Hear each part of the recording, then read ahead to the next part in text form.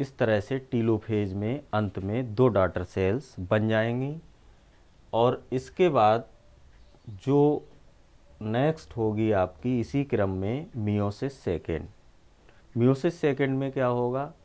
ये देखो लिखा है same as the mitotic division जैसा माइटोटिक डिवीज़न में हुआ था, प्रोफेज से लेकर के टीलोफेज तक सेम वही सिचुएशन होगी इसमें।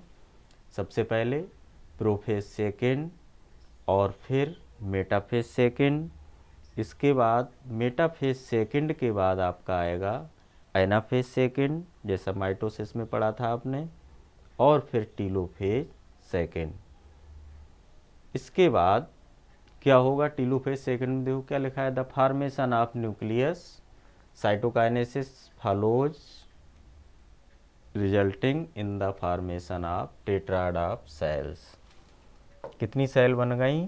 चार। यही हमने आपको बताया कि ये विभाजन जर्मिनल सेल्स में होगा। पहले एक कोशिका से दो कोशिकाएँ बनेंगी और प्रत्येक कोशिका से फिर दो दो बन जाएँगी और गुणसूत्रों की संख्या इसमें हैप्लाइड होगी। इस तरह से चार सेल्स एक जर्मिनल सेल से बनेंगी, जो आपके स्पर्म और ओवा की सेल्स में होंगे। इनमें संख्या हैप्लाइड होगी, जब दोनों फ्यूज्ड हो जाएँगे तो इसमें संख्या डिप्लाइड हो जाएगी और ये जाइगोट कहलाएगा। और ये स्पर्म और ओवा ये क्या है?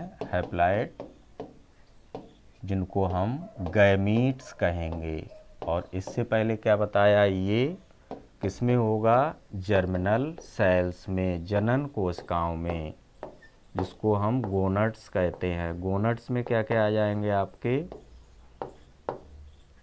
ओवरी एंड टेस्टीज अब इसकी बात करें कि इस विभाजन का महत्व क्या है। तो सबसे पहले देखो क्या लिखा है।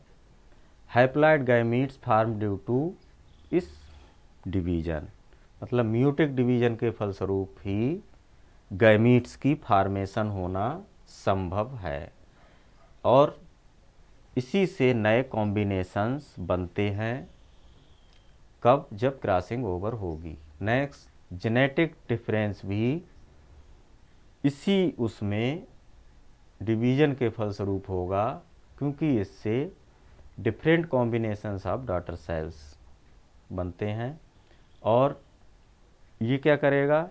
जेनेटिक वेरिएबिलिटी भी इसमें पॉपुलेशन के ऑर्गेनिज्म को ग्रो करेगा। ये सेकंड वाले फिगर हैं prophase second same as mitotic division metaphase second और एनाफेज सेकंड और फिर ये आपका टीलोफेज साइटोकाइनेसिस होकर के कितनी सेल बनी यहाँ पर? दो एक सेल से और दो दूसरी सेल से टोटल मिलाकर के कितनी हो जाएँगी? फोर सेल यही हमने आपको लास्ट में बताया था उसमें कि इसके अंत में चार सेल्स बनेंगी।